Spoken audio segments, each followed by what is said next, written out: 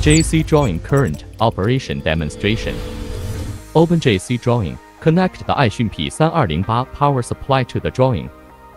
Click on My Data. These are the current data of the drawings. Select Startup Current. Fasten the battery buckle on the mobile phone mainboard. Click Automatic Detection. Press the power button. The current jumps after starting. This motherboard won't boot. Current maximum 78 mA. Current return to 0 by pressing the power button.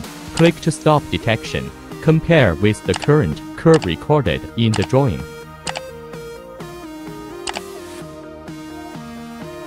Found similar current to removing L618. Let's take a closer look at this inductance. Found this inductive welding. After reinstallation, we will look at the current.